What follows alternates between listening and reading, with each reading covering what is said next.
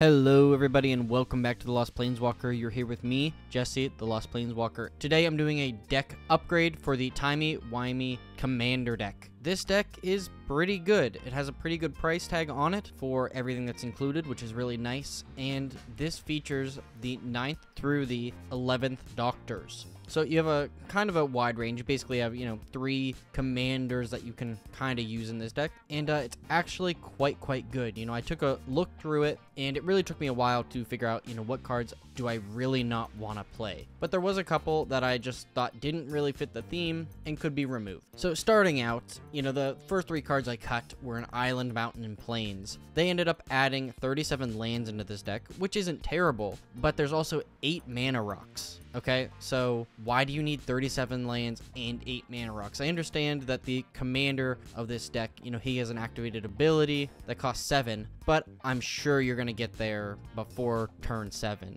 This just seems way too much. In addition to that, I also did remove Mind Stone because I thought, you know, you have 8 or 9 mana rocks, why do you need this other one? And as we'll see, I'm going to add in some other mana rocks that I think are better and work better with this deck, but that was really it mana-wise. Now I want to take a look at some of the other cards. So first is Idris Soul of the TARDIS. Legendary creature, human, invocation with Vanishing 3. Imprint. When it enters the battlefield, exile another artifact you control until it leaves the battlefield. It has all activated abilities and triggered abilities of exiled card and gets plus X plus X where X is the exiled card's mana value. I can definitely see you building a deck where this is really good. Unfortunately, the biggest mana rock or, you know, artifact we had in this deck was 4 mana and it's wedding rings, which I don't really see why you would want this basically wedding rings. I, I really don't see the point of this card. I can definitely see in a Izzet artifact deck, this is going to be just incredible. But as it is, I don't see why this card really fits in this deck at all. Our next card is Jenny Generated Anomaly for two, a red and a white. Legendary creature Time Lord Soldier double strike. When Jenny deals combat damage to a player, it explores. Same thing kind of similar to Idris. I don't really see how Jenny fits in this deck. I, I understand there are some really cool triggers and combat stuff that happens in this deck, but I don't think that Jenny is going to actually be that helpful. You know, a 4 mana double striking 2-3 isn't that bad. You know, if you can equip something to it, make it a little bit bigger, it's a serious threat. But as it is right now,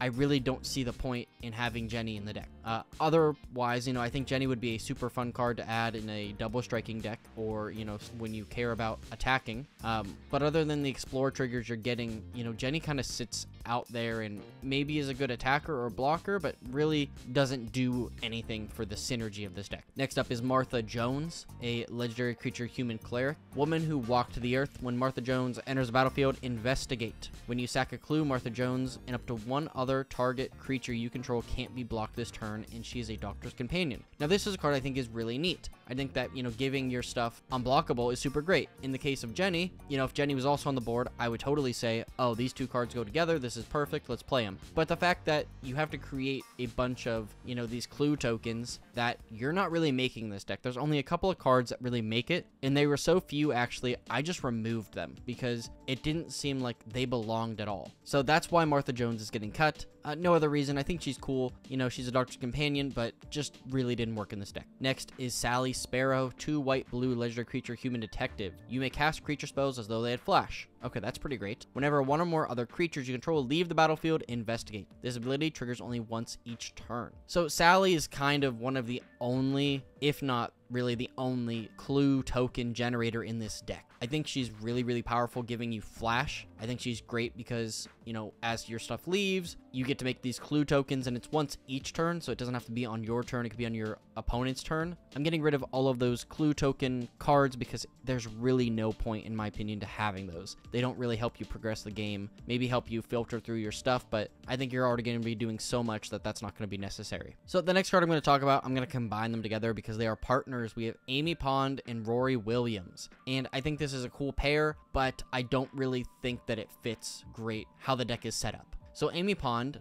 partner with Roy Williams. Whenever Amy Pond deals combat damage to a player, choose a suspended card you own and remove that many time counters from it. She's a doctor's companion. I think Amy Pond is an excellent card. I think that's a very cool ability. I think that that, you know, could work very, very well. But she's a 3 mana 2 2. So unless you can give her some evasion, which there isn't any in this deck, except the one I removed, Martha Jones, she's kind of pointless. You know, I see she's really cool because you can help speed up the, you know, amount of time it takes you to get those cards back, but otherwise, I really don't see the point in her. Rory Williams, on the other hand, partners with Amy Pond. First strike and lifelink, pretty good for a 3 3. For 2 mana, that's incredible. The last Centurion, whenever you cast a spell from anywhere other than exile, exile it with 3 time counters on it. It gains suspend, then investigate. Okay, so Rory is cool because obviously the other co commander of this deck is Rose Tyler, and Rose Tyler cares about cards have time or suspended counters on them. Very, very cool. Rory kind of fits that bill, but by the time, let's say you cast this on turn 2, and you have to wait 3 turns at a minimum to get this, on turn 5, you're getting a first strike lifelink 3-3 creature. And at that point, I don't think he's really that valuable to your board. At turn 2, he's incredible. I would love to play this card in a bunch of decks. At turn 5, I really wouldn't be that happy to play this card. So that's kind of the way I see it. You know, you're not really cheating it out you know, because you're paying a white and a blue still to cast this, and then it goes into suspend unless you cast it from suspend. So I really don't like either of these cards, how they work in this deck, and, and maybe there's a better setup for this, but for right now, it just doesn't work. My next up card is Clock Spinning. This is a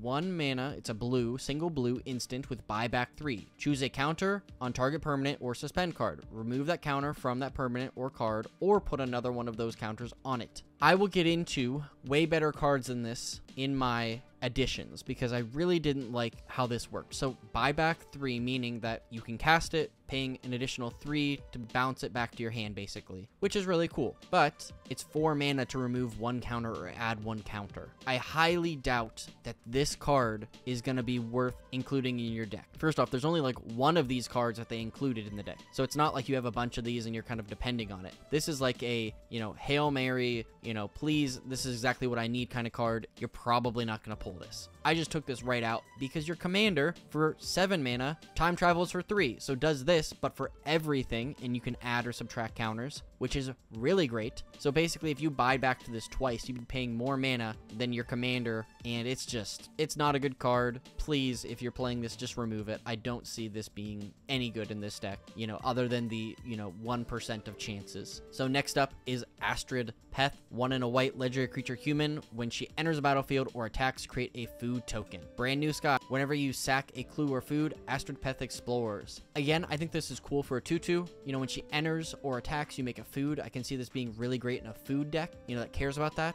And you can sack that clue or food to explore to get her bigger. All of those work very well. All of that's very cool. But how does that really work in this deck? We don't really have anything where we're sacking a lot of artifacts to. You know, this kind of focuses around suspend and all kinds of cards vanishing. Food and clue don't work in this deck. You know, other than maybe to give you a little bit of life. And I think this is the only thing in this deck that makes you food. So I don't really see the purpose of having this. It's kind of a, I don't know why they include it in this deck. It is cool. I can definitely see this going in a food deck because entering and attacking and then potential to get bigger. So I really like that. But as it is right now, I wouldn't play it. Next is the Pandorcia, and I'm sorry if I say that wrong. I just can't figure out how to say this, but it's a legendary artifact that says you may choose to not untap the Pandorcia during your untap step. For one and a white, tap, untap recap another target non-land permanent. Then it phases out. It can't phase in for as long as the Pandorcia remains tapped. When the Pandorcia becomes untapped or leaves the battlefield, that permanent phases in. Activate only as a sorcery. I kind of understand what's going on here, and we have a lot of cards, and including cards that they also put in the deck that kind of do this, but a lot better. You know, this is kind of one of those,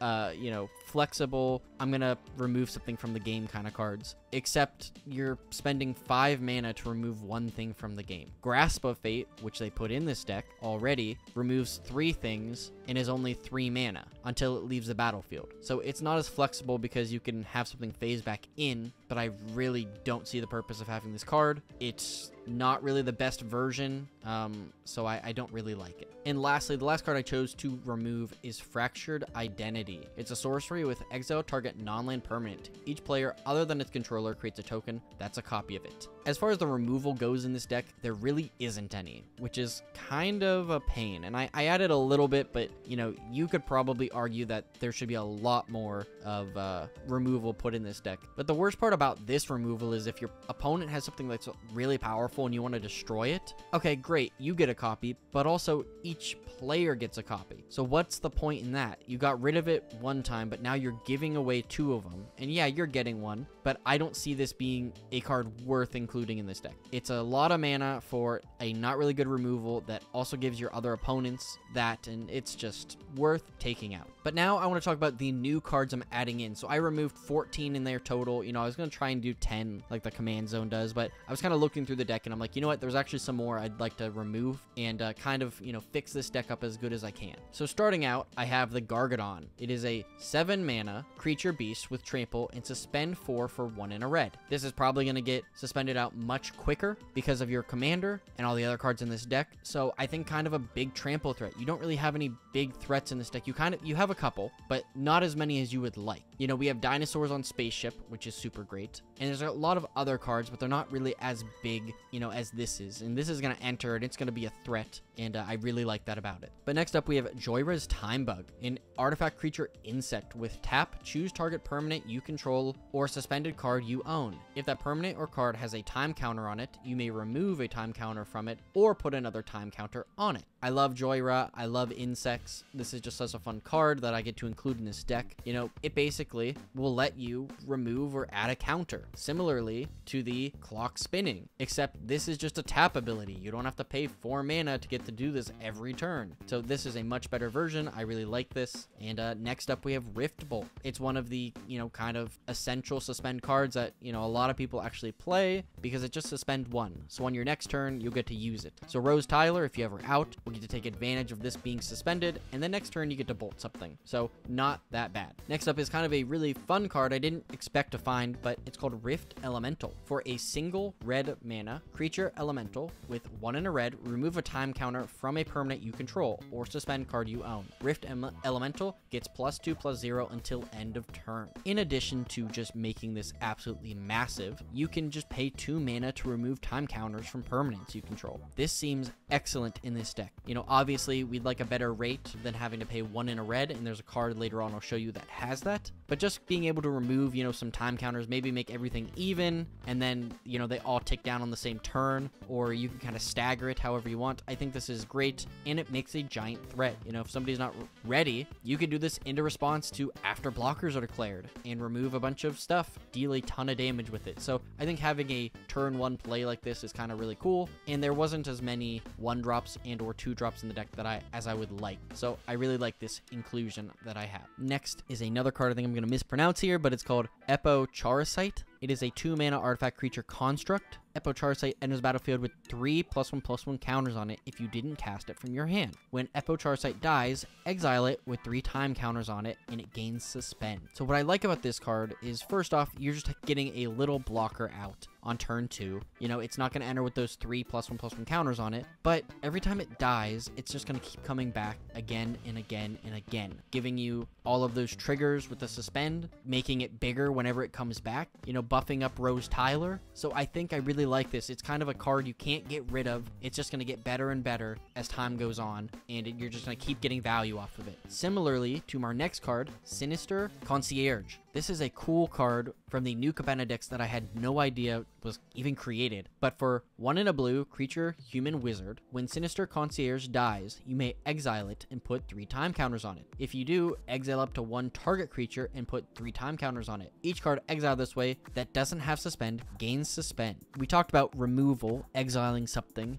and this is kind of a way better version of it. In addition to just getting this thing out there and all of these same things that the last card I just talked about gives us, we kind of get to remove something temporarily as well. I really love this card. I think this is so cool. It's going to keep coming back. We can use it as a blocker, you know, keep removing stuff. So that is very, very cool. Next is Jhoira of the Ghitu. Legendary creature, human wizard. Two, exile a non-land card from your hand. Put four time counters on it. If it doesn't have suspend, it gains suspend. So this is kind of a card that I know it's not on flavor, so they didn't include Jhoira because she's a named, you know, legendary creature, but she is the perfect card for this deck. You know, Jhoira Used to be a really, really powerful commander and kind of fell off because people weren't playing her as much. But I think she's going to hit a resurgence now with all of the really cool cards that we are getting. In addition, she just gives anything suspend, you know, making our deck even better. So I really love this card. I'm really excited to see it, and uh, I know that this is going to be a powerhouse. Next up is Time Crafting, and this is the really cool removal card that I think is just so much better than everything else they have to offer. So Time Crafting is X in a red, instant choose one, remove X time counters from target permanent or suspend card, or put X time counters on target permanent with a time counter on it or suspend counter on it. So if you, you know, are in the late game, you need to get something onto the battlefield, but it has, you know, 10 10 time counters on it and you're waiting for it to resolve, this is your card. It's not the best because you still have to pay a ton of mana dumping into it, but there's no better card that I found that does this. You know, if you need something, you're going to get it. Or if you want to put a bunch of time counters on something,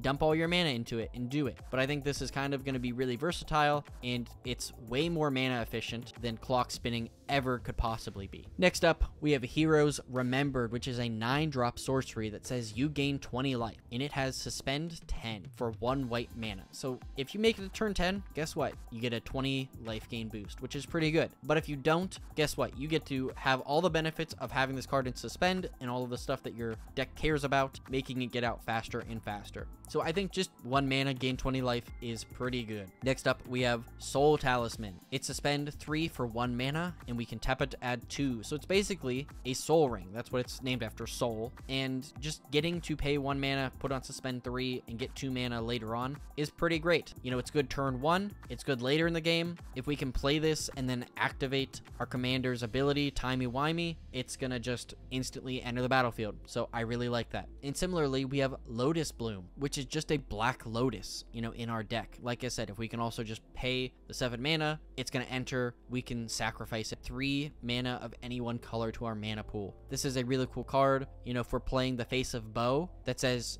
you know, you can just pay whatever you would pay and cast it inst without having to do suspend. This is just a Black Lotus, which is banned in Commander because it is so power. Next up, we have Wheel of Fate, a sorcery with suspend for one in a red. Each player discards their hand, then draw seven cards. It's just a Wheel of Fortune. We love this card. You know, anybody who can afford it and play it, loves playing it, it's just gonna help you refill your hand, get you some more suspend cards, so I really like it. Similarly, we have Ancestral Visions. Ancestral Visions is blue, it has suspend 4 for a single blue, and target player draws 3 cards. This is created after Ancestral Recall. It is a really, really fun card. You know, whether you wait the 4 turns to draw 3, or if with Face of Boe you do it earlier, or any of your other ways to do it earlier, it's just going to be awesome. And the last card I'm adding is Mox Tantalite. An artifact with suspend 3 for 0 and can tap to add 1 mana of any color. This is just going to help us mana fix, and like I said, I removed a couple of lands and that mana rock because, you know, what I had in this deck was better. But this is my suggestion. These are the four cards I would include, and those come to a total of $23, so not too bad. You know, the most expensive addition is this Mox Tantalite. Ancestral Visions and Wheel of Fate are both below $4, and everything else is, you know, kind of pennies after that. But, you know, what do you think? Was this a good upgrade? Did you think that, uh, the cards I included was good? Do you think the cards I removed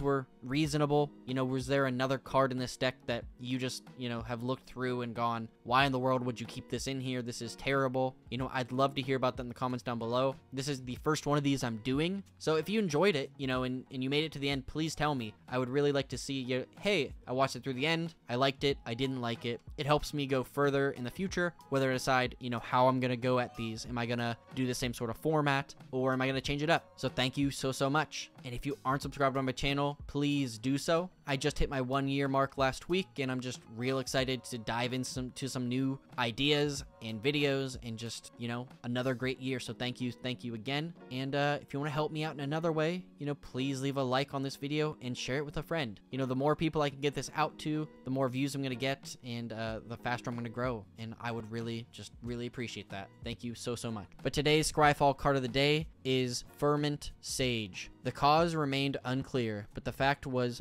undeniable. Nights were lengthened faster than in any autumn past. Thank you so much for watching, and as always, I'll see you later, Planeswalkers.